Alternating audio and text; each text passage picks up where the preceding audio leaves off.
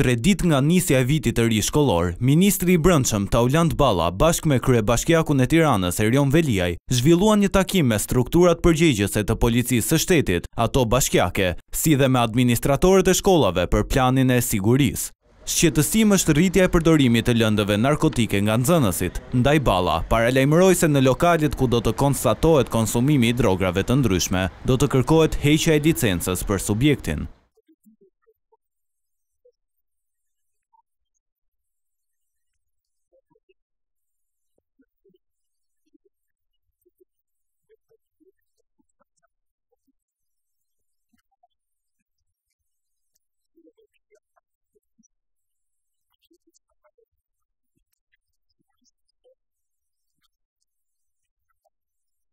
Gjithashtu, të gjithë drejtuesit e mjeteve që tejkalojnë normat e shpejtësisë në perimetrin e sigurisë së shkollave, i cili do të jetë të paktën pesëdhjetë metër, do të marrin ndëshkimin maksimal.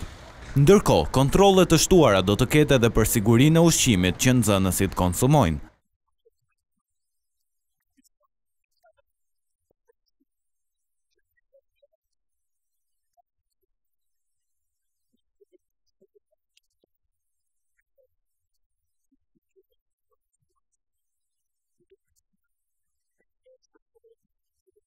Ndërsa kryetari i Bashkisë së Tiranës, Erion Veliaj, kërkoi që roli i administratorëve të shkollave të forcohet.